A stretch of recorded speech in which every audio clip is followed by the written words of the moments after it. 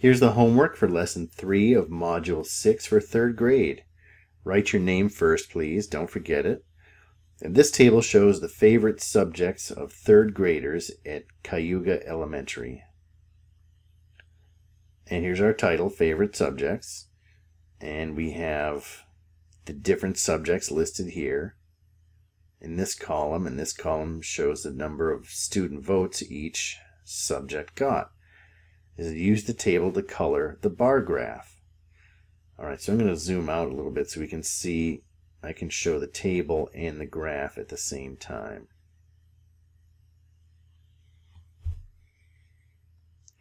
And since I'm coloring in, I'm going to change my marker a little bit here. Alright. So number of student votes. Math has 18. So that means I'm going to go up to 18. And look where math is here. So an important safety tip. You can see where science is. And then the column that you color in for science is directly above the word for science. It's that easy. So don't put like history, don't color this one here for history because it, that's not right above where it says history. Just you'd be surprised maybe how many how many students do that. So math is 18, so it's going to go up to the eight line for 18 right here. And what I like to do is start at the top right there so I can make a sharp line and then I can color in everything underneath it. And if you can't stay inside the lines, that's okay. It's not supposed to be perfect. ELA is 13 votes. Well, 13, this shows only even numbered uh, this is an even numbered scale. So 13 is going to be halfway in between 12 and 14. So it's going to go up to here. Or about as close as I can draw it to halfway.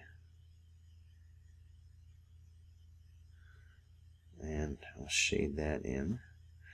And if you do, you know, if you want to, you can certainly, there's nothing wrong with going back and cleaning up some of these if you go way outside. Might as well just erase a little bit just to make it look a little bit because really this is keep in mind this is a graph and it's really all about getting it to look right. So you want you want it you don't want it to be too sloppy. It doesn't have to be perfect, but it's it's got to look good too. And for history 17 that's going to be between 16 and 18, so right about there. And then I can go down from there. And science, it has a question mark, but we can see where science is, that's 14. I'm sure we'll have a question about that soon.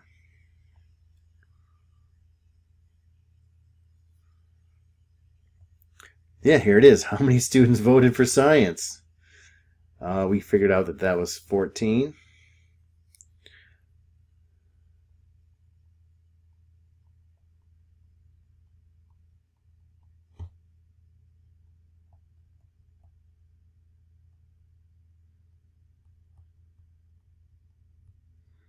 How many more students voted for math than for science?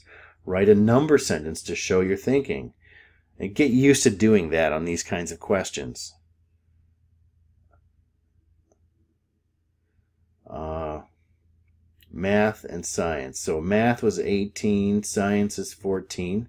So how many more? That's a 18 minus 14. And the difference there is 4. Four more, or actually, this might be a, an easier way to write it. Get an idea.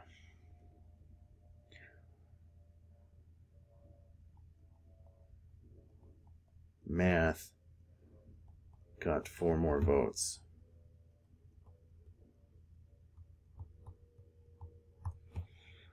Which gets more votes, math and ELA together or history and science together. So we got to figure out math and ELA together, history and science together, and then we have to compare the two. So math and ELA together, that's 18 plus 13.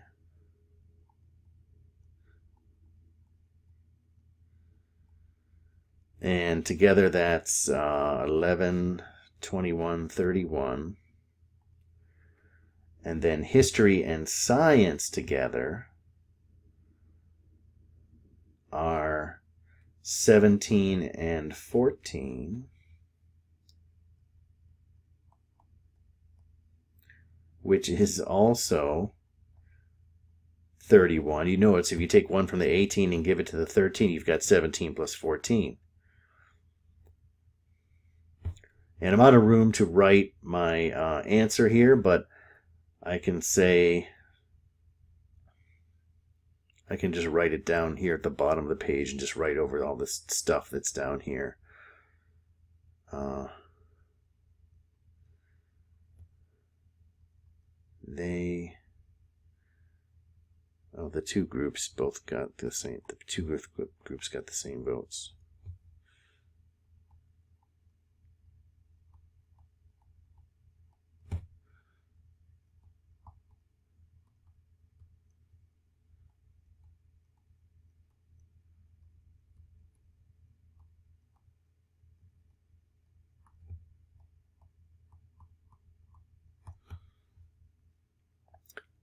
And this bar graph shows the number of liters of water Skylar uses this month.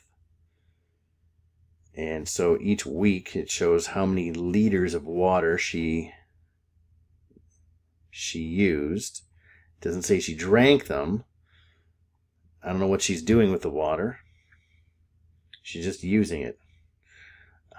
Um, during which week does she use the most water? Well, you can see that they're all starting from the left end. So the longer piece of tape is the longest number. So that's week four. And be careful that you pay attention to what the question is asking. It didn't ask how many liters of water did she use. So the answer here is not it's not 65, it's week 4. And the least would be the shortest the shortest uh, bar, which would be week 3. How many more liters does Skylar use in week four than in week two? So here you gotta write your subtraction sentence. So week four was 65 because that's like halfway in between 60 and 70. So I'm going to say 65 minus week two, which was uh, 50. And that's pretty good subtraction because we just subtract the tens, which equals 15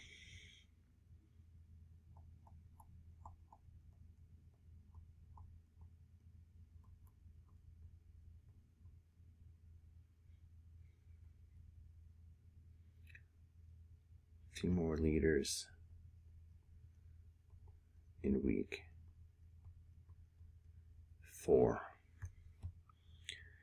Write a number sense to show how many more liters of water Skylar uses during weeks two and three combined. How many liters of water she uses during weeks two and three combined? So two is 50. 3 is 40, so we have to combine 50 and 40. 50 plus 40 equals 90 liters. Uh, how many liters does she use in total? Well, we've already added together week 2 and week 3, right? So now we just have to add week 1 and week 4 to that. So I could say 90 plus, right, we still need week 1 and week 4, so that's 55 plus 65. You know, or you could just write down the, the numbers for each one. You could just you could also write down 55 plus 50 plus 40 plus 65. You could write that too. That would be fine. All right, let's see now. Um, that's 110. 50 plus 60 is 110. And uh, 110 and 90 is 200. And then I still have to add the two fives. So that's 210.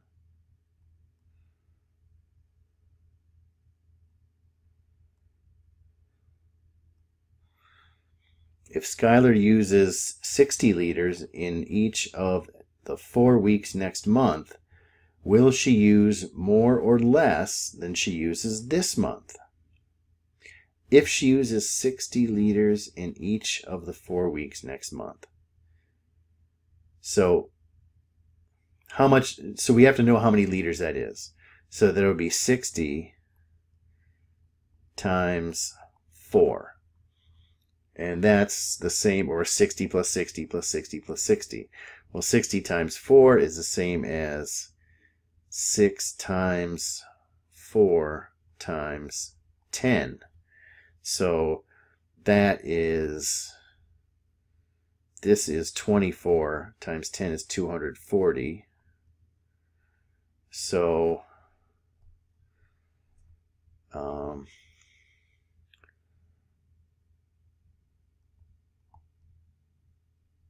she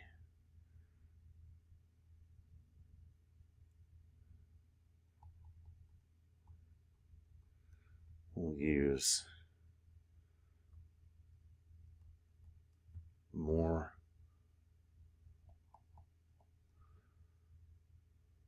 water next month right? And you got to have, you don't have to do it the same way I did it. You could do it with addition. That would be fine. And you can even do the subtraction, subtract 240 minus 210, and say that she will use 30 more liters of water next month. You could have that too. That would be all, that would be bonus. And then we have one more here. Complete the table below to show the data displayed in the bar graph in problem two. So we go here, look at the bar graph and we have week numbers 1, 2, 3, and 4. So we need week number 1, 2, 3, and 4. And liters of water are, that's 55, 50, 40, 55,